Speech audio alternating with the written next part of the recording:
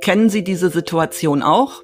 Sie reden mit Ihrem Gegenüber, das völlig unerwartet schreit, lass das, Kevin. Wahlweise auch Jonas, Marie, Annalena, Felix.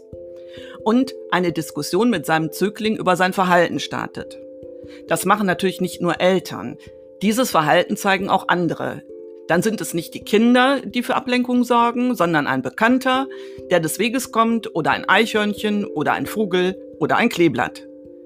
Man steht dann daneben und fühlt sich, genau, scheiße.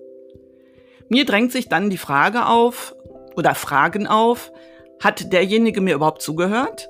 Was will mir er, sie mit diesem Verhalten sagen? Langweile ich sie ihn? Oder hat er, sie grundsätzlich kein Interesse an meiner Person? Frei nach dem Motto, ich rede zwar gerne über Leute, aber nicht mit ihnen.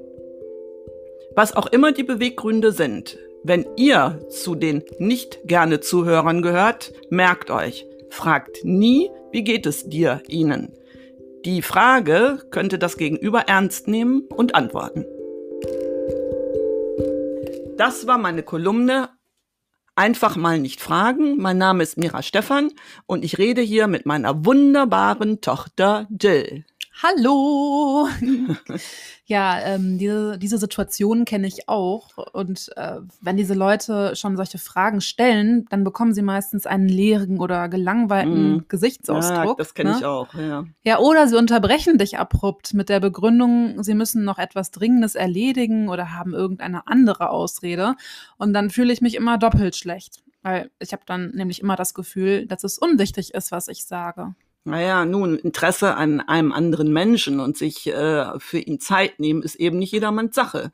Mhm. Ähm, bei dem Stichwort Zeit fällt mir übrigens gerade etwas ganz anderes ein, nämlich das Bild von Dali. Weißt du, dieses mit diesen zerfließenden Uhren, ich mag das total gerne. Ja. Ich, ich glaube, es heißt Beständigkeit oder Zeit der Erinnerung. Äh, das kennst du doch bestimmt. Ja, ja, ja, klar. Also es gefällt mir auch sehr gut und das heißt Beständigkeit der Erinnerung. Mhm. Ähm, es wird aber auch die zerrinnende Zeit oder die weichen Uhren genannt. Mhm. Ja, man sieht das oft auf Postern und zum Beispiel auch im Fernsehen. Also das ist auch schon bei den Simpsons mhm. oder sogar in der Sesamstraße vorgekommen. Mhm. Und ich glaube, es war auch schon in dem ein oder anderen Film zu sehen. Tare! Und damit wären wir schon direkt am Anfang unserer beliebten Rubrik Horror Vakui. Allerdings haben wir damit einen Künstler. Naja, gut, also wir sind ja emanzipiert. Und wenn das Werk gut ist, darf es auch mal ein Mann sein. ja, also, dann will ich mich mal an die Bildbeschreibung machen. Mhm.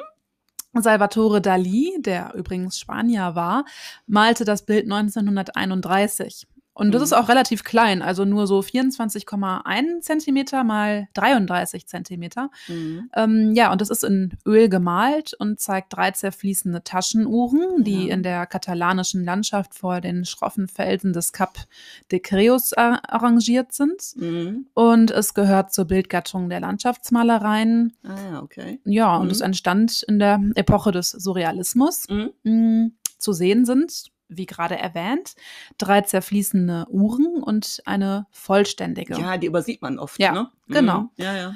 Und äh, deswegen, also auf der vollständig erhaltenen Uhr unten links im Bild sind Ameisen zu sehen. Mhm. Die sollen sinnbildlich für die Vergänglichkeit und den Verfall stehen. Mhm. Darüber sitzt auf der zerfließenden Uhr eine Fliege, Mhm. Ja, und die soll zeigen, wie die Zeit verfliegt. Mhm. Die zweite weiche Uhr hängt über dem Ast eines Baumtorsos. Mhm. Ach ja, und rechts im Bild zerrinnt eine Uhr auf einem im Profil dargestellten abstrahierten Gesicht des Künstlers. Mhm. Und der mhm. hat die Augen auch geschlossen. Ja, stimmt, kann ich mich erinnern. Ja, ja. Ich habe immer gesagt, ja. äh, mich gefragt, was ist das überhaupt? Aber stimmt, das ist ähm, ja so im Profil, ne? Das ja. Gesicht des Künstlers. Ja, ja. Genau, ja, ja. Das ist äh, auch ziemlich interessant, wenn man das dann mal weiß und drauf achtet. Genau, ja. Ja, die Uhren symbolisieren das Gefühl der Zeitlosigkeit und stehen für die Allgegenwart der Zeit und deren Herrschaft Herrschaft über die Menschheit. Mhm. Ja, angeblich habe der Anblick von heißem, zerlaufenem Camembert ähm, Dali zu dem Gemälde inspiriert. Ach, das ist ja interessant. Ja, das fand ich auch noch äh, echt ein lustige, lustiges in lustige Informationen dazu. Mhm. Es hängt übrigens seit 1934 im Museum of Modern Art, also im MoMA in New York. Mhm. Ja, und ich habe auch noch einen Fun Fact. Mhm. Ähm, am 19. Juli 1938 traf Dali Sigmund, äh, Sigmund Freud in mhm. dessen Londoner Haus. Und ja, da lebte der im Exil. Ja.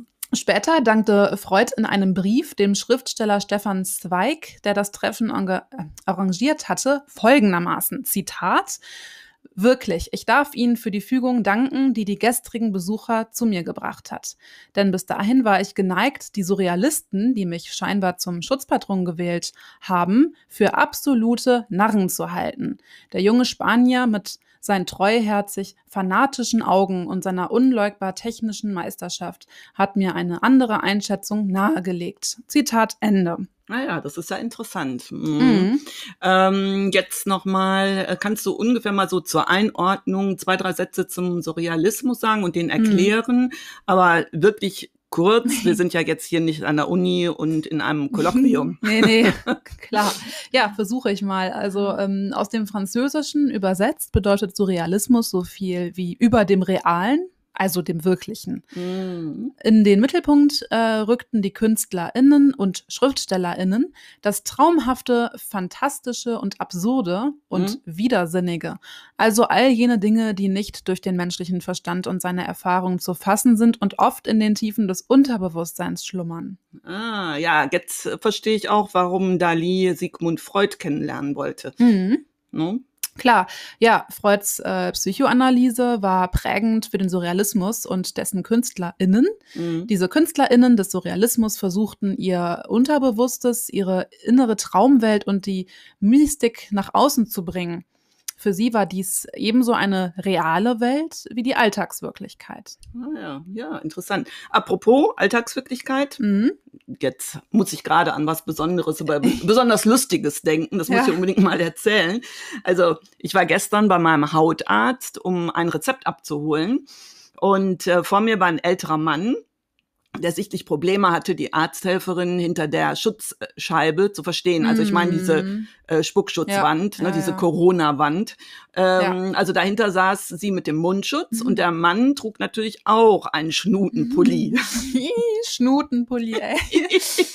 ja, lustig. Ne? Also okay, ich muss zugeben, das ist jetzt nicht meine Wortschöpfung, sondern die einer Freundin. Mhm. Also also die Arzthelferin sprach äh, zudem auch noch sehr sehr leise und äh, weißt du, was der Mann gemacht hat? Nee, jetzt kommt's. er nahm die Maske ab, legte sein, äh, seine Hand ans Ohr und brüllte, was haben Sie gesagt? Oh. Ja. und das war das Beste. Daraufhin die Arzthelferin ganz emotionslos, setzen Sie die Maske bitte wieder auf. Mit dem Mund und der Nase können Sie auch nicht besser hören. Ja, gut. so, ich muss allerdings auch zur Ehrenrettung der älteren Menschen sagen, dass äh, ich dieses Phänomen auch schon bei Jüngeren beobachtet habe.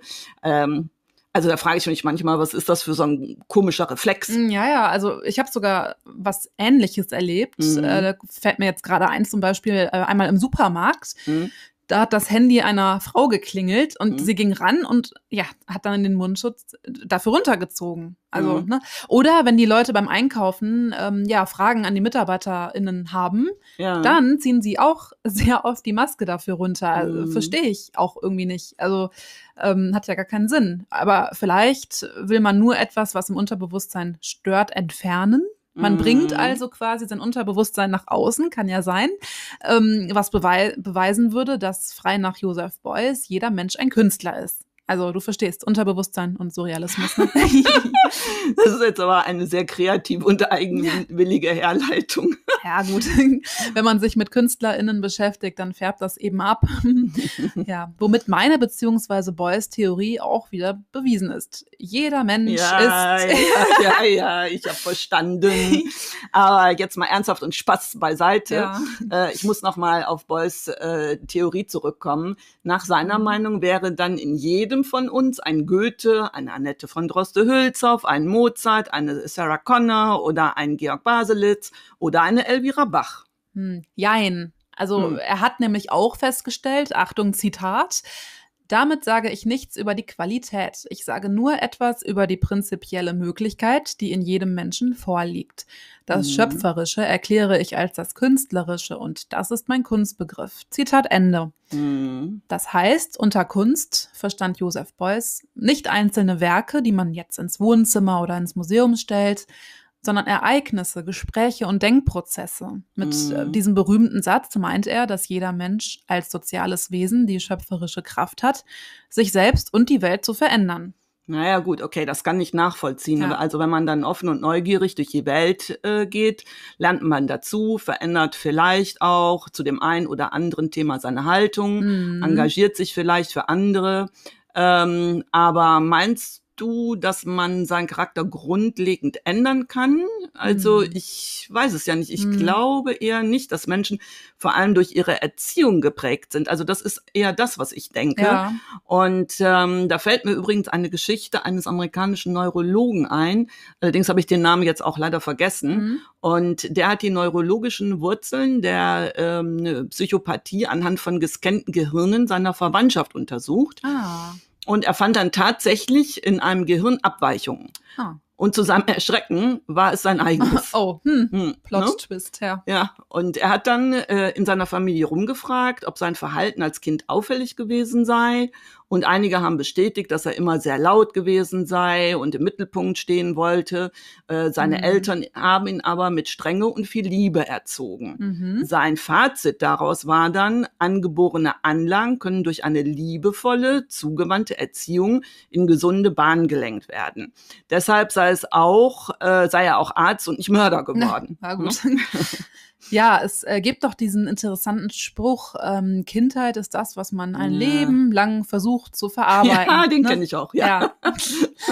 Was meint ihr da draußen denn dazu? Da könnt ihr ja gerne mal Bezug nehmen. Vielleicht hört uns ja auch eine Psychologin oder ein Psychologe zu, ähm, die der das alles viel besser erklären kann. Das wäre sehr interessant. Schreibt uns doch einfach mal. Ähm, wir freuen uns darauf. Ja, genau, zum Beispiel auf Instagram unter Erbse und Schote. Genau. Ne? Gut. So, und äh, oh, scheiße. Huh? Was ist jetzt los? Oh Mann, ey. Ich habe den Aufschnitt im Auto vergessen und das bei der Hitze draußen. Ah, ja. Ah. Dann mal hopp, hopp, hopp, die Wurst retten. Ja. Ich werde mich dann mal ähm, nach draußen begeben Ja. und noch gucken, was zu retten ist. Mhm. Und ähm, damit würde ich sagen, sind wir ja auch für heute ans Ende anbelangt. Das war Erbs und Schote für diese Woche. Wir hören uns nächsten Dienstag wieder. Ich freue mich drauf. Ich mich auch. Bis neulich. Glück auf. Tschüss.